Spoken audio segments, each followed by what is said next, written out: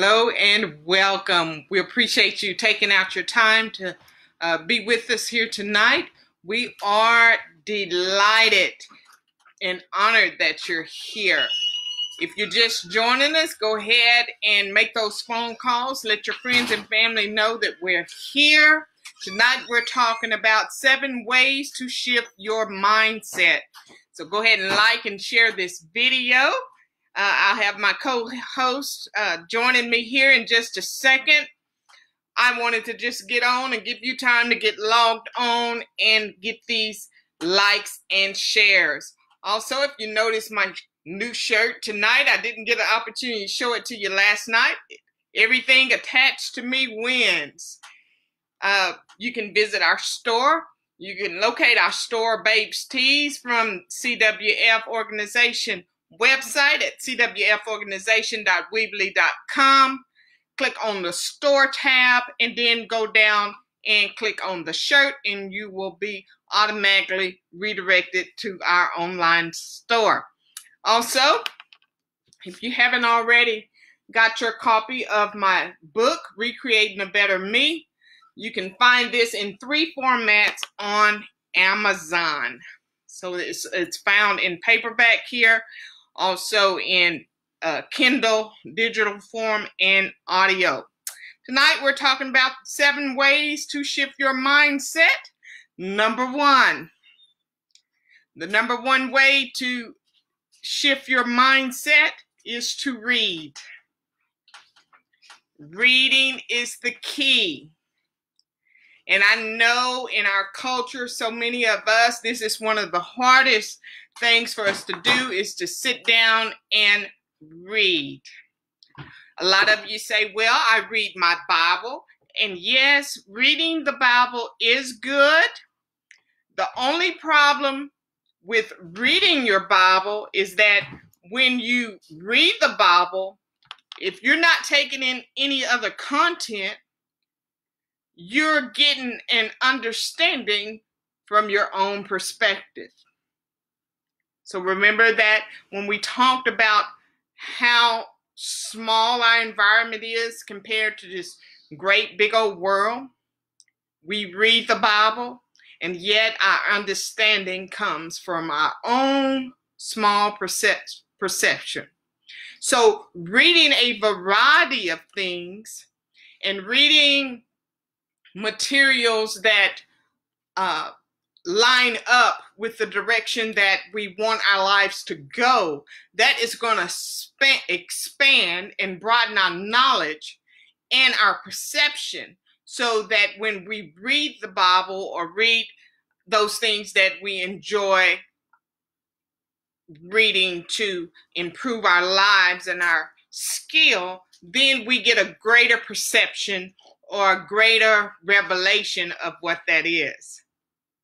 I can sit here all day long and pick up a history book and start to read, but if I don't have some kind of background knowledge, my perception of what I read or my comprehension of what I read, that picture that I get when I read those pages is very limited.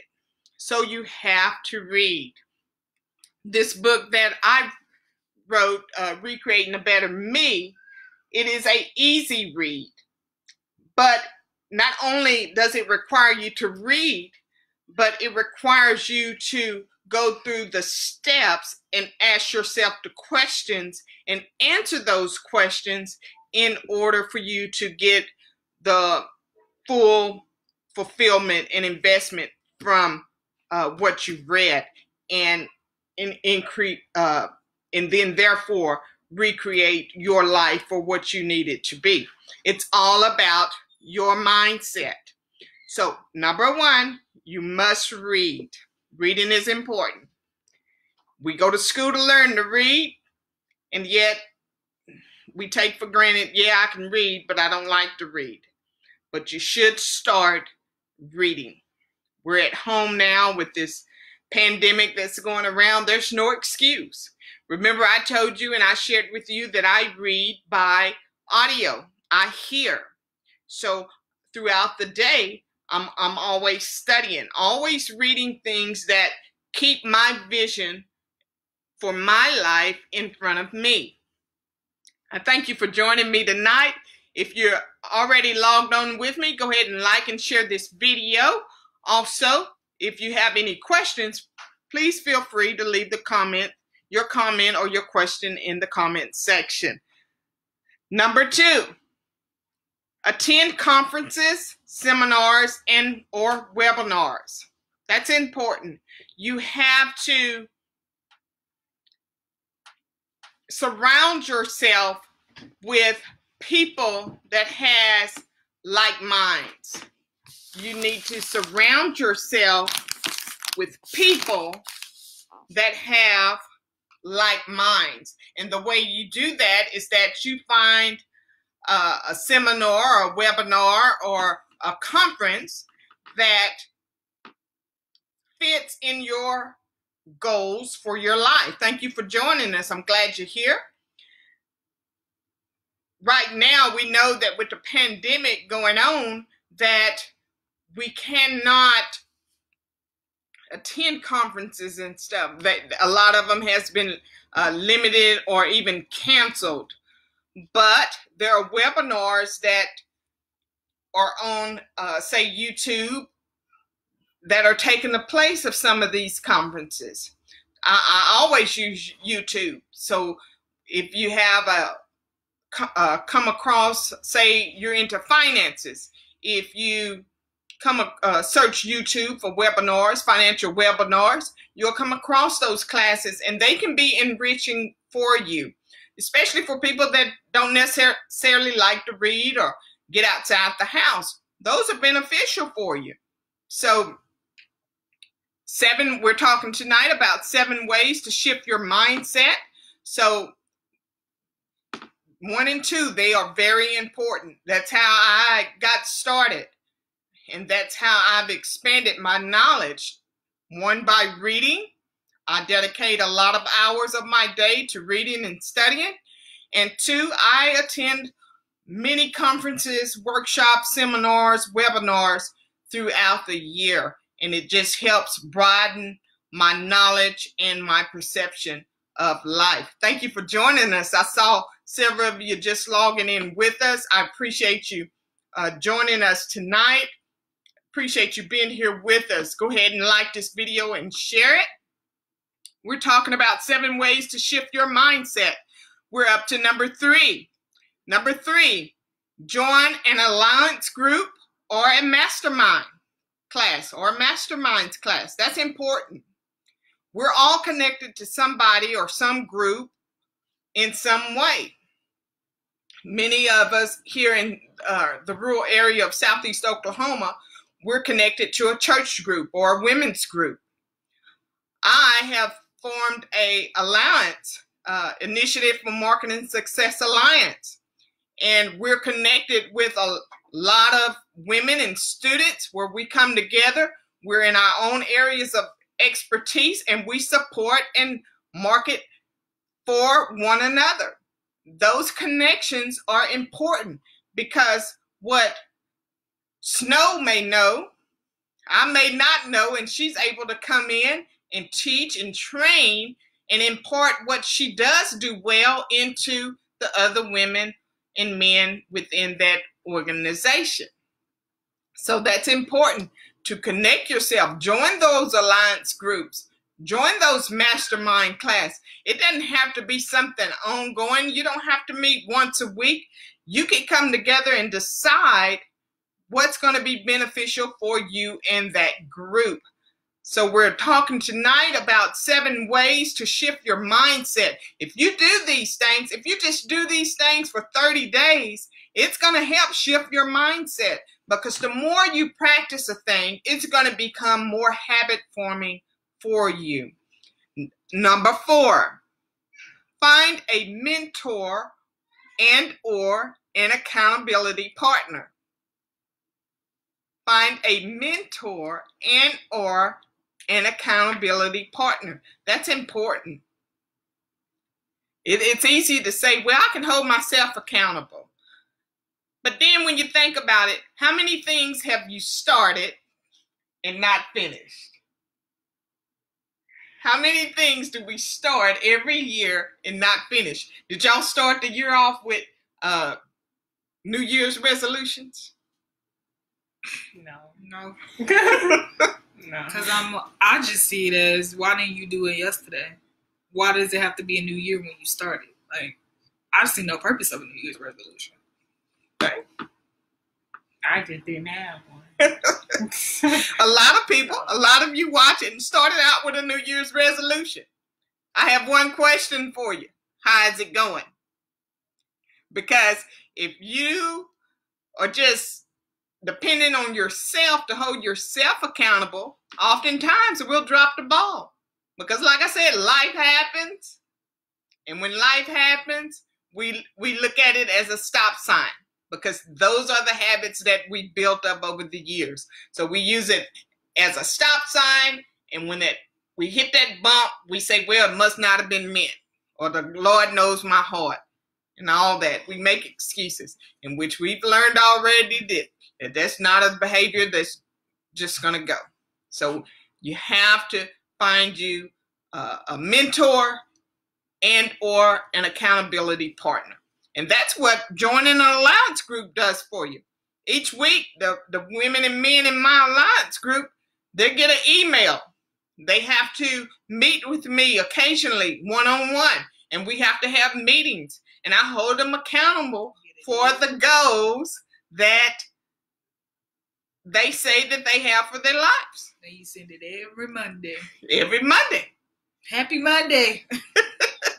every Monday. So that gives me something to strive for as a mentor to others, but also it holds me accountable knowing that I have others dependent on me. I am so glad that you're here with me tonight, here with us tonight. We're talking about seven ways to shift your mindset. And if you practice these seven skills for 30 days, I can almost guarantee that there's going to be a shift in your mindset you're going to begin to form new habits and adapt adopt a more positive desirable mindset which we talked about uh, on last night. Number five listen to motivational audio and or video uh, oftentimes reading is just not our thing but if we can find a daily and I mean start your day, motivational video or audio, that's a good place to start. Because the more you're feeding that good stuff into your mental capacity, the more you're going to want to desire that. When I first started listening to motivational tapes and the videos, it was hard. I had to start with like 15 minutes a day with it. Now I'm up to about five hours a day just listening and let it just feed my spirit over and over and over again. I shared with you last night that Les Brown was one of my go to mentors for listening to his motivational speeches. They're so encouraging. And I listen to that, and the more I listen to it, I get new revelation of things that I know I've heard over and over and over again. So that's what it's all about. Find something that you enjoy, though.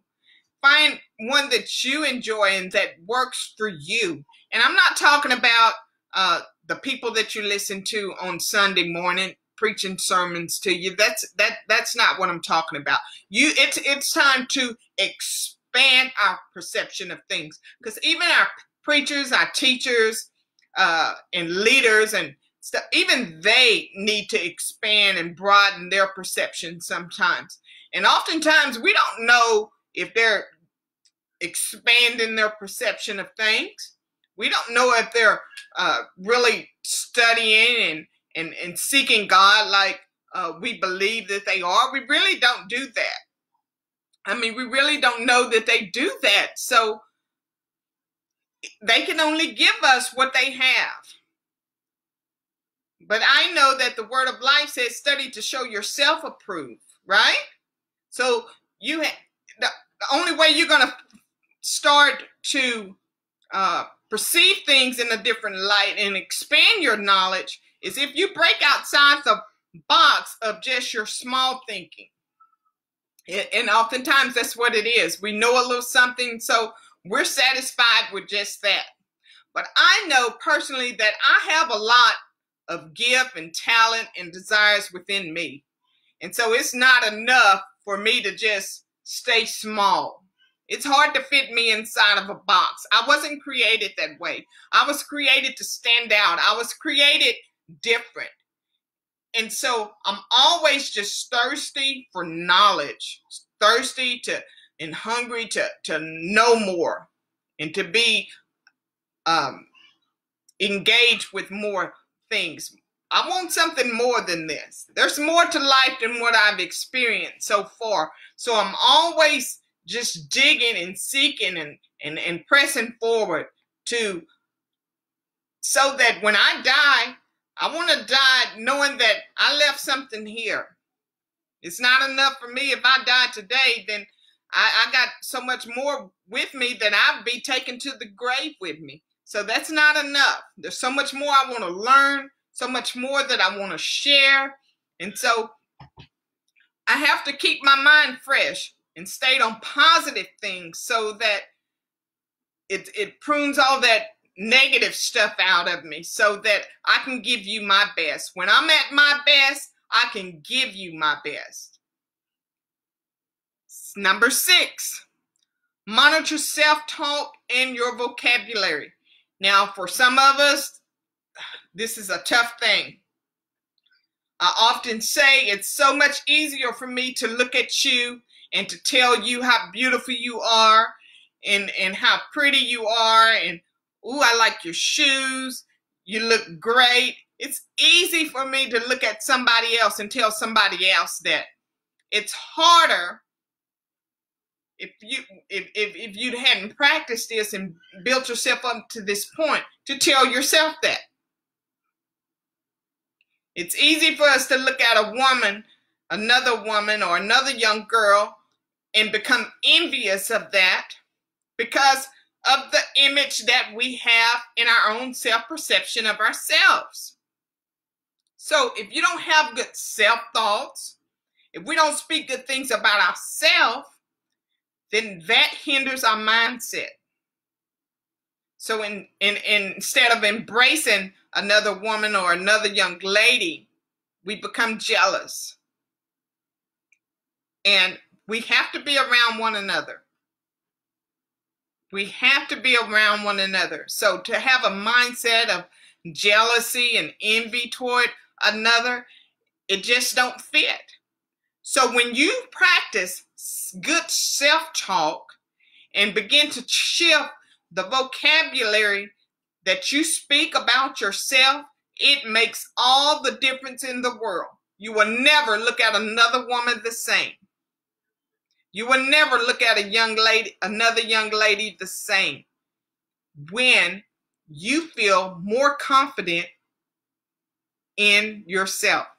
If you're with us tonight, go ahead and hit those heart buttons. Let us know that you're understanding and you're following everything that we're saying tonight. I am glad you're here. If you have a question or a comment, feel free to go ahead and leave that in the comment section and I'll be sure to address that with you.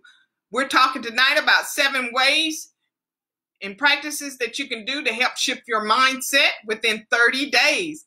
If you practice these things within seven, uh, 30 days, these seven things that I'm sharing with you tonight, I can promise you that you're going to begin to adopt a, health, a healthier mindset, healthier thoughts. And we're up to number seven. Be selfish with your time and who you allow to occupy it. And I know that all these lessons are overlapping. And yes, that's what they do. This is what we call practice and being intentional. If you're intentional with wanting your mindset to shift from uh, from negative to positive, then these things you have to do. There's no way we can get around it. You have to be selfish with your time and who you allow to occupy that space with you. I can't keep hanging around negative, uh, critical, condescending people and think that I'm going to produce positive things.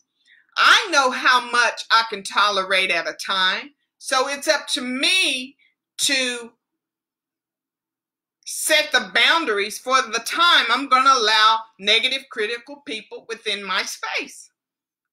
I'm not going to prune them out altogether. Not when I'm strong enough to handle it. I, it may be only five minutes. I can maybe only tolerate you five minutes. And after that five minutes, if you don't re- remove yourself, then I'm going to be the one removing myself. I mean, it happens, and I do it all the time. I can go to a, a place and uh, someone's in that space. It's okay to be friendly and, and say hello and, and, and see how things go. But when you know that you've reached your limit of tolerance, then rather than hurt somebody's feeling, it's easy to uh, get up and remove yourself and excuse yourself and, and head home or whatever it is that you need to do to make sure that you stay in a positive frame of mind. Because we learned that last night, everybody's personalities and attitudes do not align and fit with ours. Ladies, do y'all have something that y'all like to add to this tonight? We're talking about seven ways to shift your mindset. And if you do it within 30 days, I can promise you that you're going to start developing better mental habits. Oh, I don't have anything to add. You don't have anything to add? Okay, Snow? All right. Now, I know some of you are saying, you're telling me all this, but you're not telling me how to do it. Well, tonight I got a bonus for you. I'm going to share with you some of the people or uh, that I consider my mentors, people that I listen to on a daily uh, basis, and also some of the books that I've read from some of these people. Number one, uh, easy read. You can start with this here. It's available on Amazon. It's available in paperback. It's available on Kindle, and it's also available on audio from Audible. So, easy read. And if you get it on Kindle or Audible, you can probably even get you a copy uh, free. But nonetheless, it's available. It's a re- easy read. So yours truly. Also, I mentioned before Les Brown. Another, Jim Rohn. Tony Robbins. Myles Munroe, Eric Thomas. Zig Ziglar. Susie Orman. Steve Harvey. Denzel Washington. Earl Nightingale, Dave Ramsey, Norman Vincent Peale, Chris Gardner, what is his name? And Nick Vujicic. He's the little fella that goes out and does the. Mm-hmm. He, he's the fellow that goes out and uh, does motivational uh, speaking and stuff, but he doesn't have any uh, extremities. Uh, his his name is Nick, and the last name is spelled V U J I C I C. So look it up.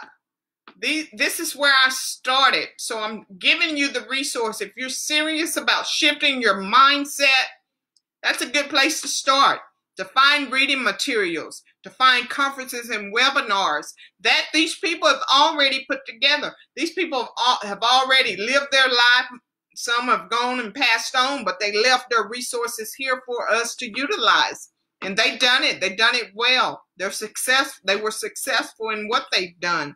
Also, uh, John Maxwell. He's another that that I've studied occasionally. So tonight I've given you seven ways to shift your mindset. I've also given you a bonus of resources of the people to where uh, I've studied using the materials that they've left out for us to uh, enjoy and to learn from. They were successful.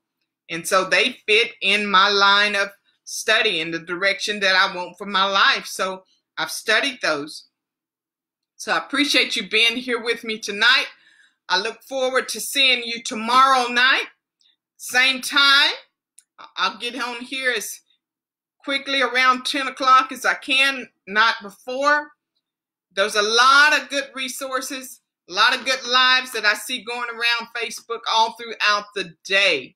If you don't tune in here with us late at night, please tune in to somebody throughout your day and empower yourself, educate yourself throughout the day.